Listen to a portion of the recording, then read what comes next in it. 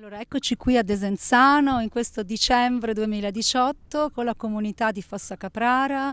con la comunità della Sburla La Roda, uno dei giochi tradizionali che si sono raccontati, anzi una delle comunità ludiche tradizionali che si sono raccontate oggi qui a Desenzano perché? Perché siamo partiti per una grande avventura, che è un'avventura di ricerca, di conoscenza, ma anche di rete, di forte rete fra le comunità ludiche, partendo da Regione Lombardia, che ha legiferato in merito al patrimonio immateriale ed ha creato uno spazio di ricerca nuovo, innovativo, sul gioco tradizionale. Il gioco tradizionale non soltanto in quanto gioco e patrimonio, diciamo, isolato, ma quanto patrimonio di una comunità intera. Il caso della vostra comunità è un caso particolarmente eloquente, perché è proprio in qualche modo il gioco che ha creato e ha costituito costituito un movimento per il benessere della comunità, per una rivitalizzazione della comunità. Il gioco, anche il cibo e quindi ecco siete diciamo, un esempio molto forte, molto eloquente di quanto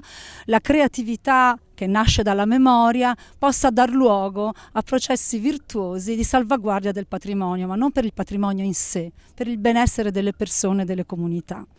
Ecco, quindi un grande ringraziamento per essere qui, per essere venuti, per far parte di questo movimento ed aiutarci a crescere tutti quanti. Oggi eravamo otto comunità del territorio lombardo, l'idea è quella di continuare sia in Lombardia che su altre regioni questo processo che è di ricerca ma è anche di progettazione di, del futuro. Quindi do volentieri la parola a rappresentante di Regione Lombardia che è qui con noi, Renata Meazza, che è l'iniziatrice in qualche modo di questo, eh, di questo progetto di studio studio di ricerca di salvaguardia del patrimonio ludico tradizionale in Lombardia.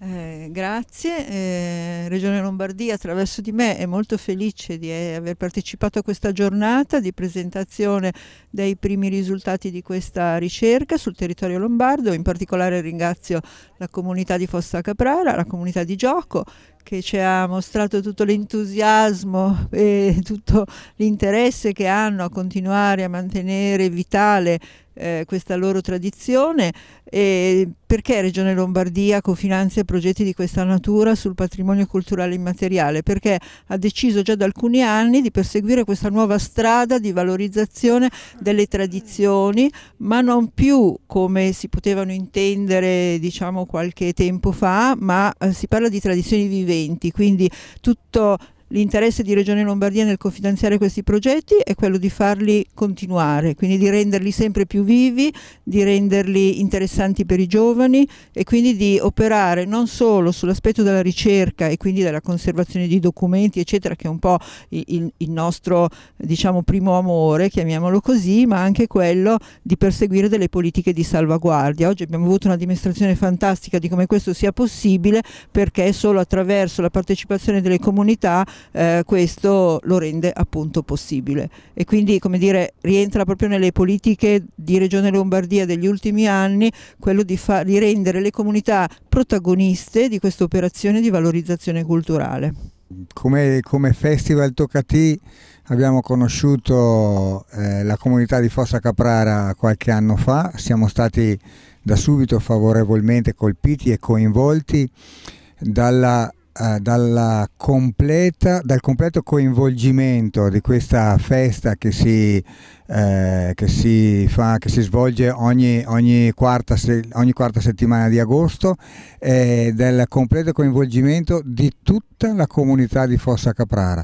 E, e penso che eh, un'operazione come quella che si sta facendo attraverso un gioco sia assolutamente in sintonia eh, con quello che al Toccati noi eh, facciamo da qualche anno e non a caso eh, Sburla la Roda è stata ospite più volte al Festival Toccati. Grazie.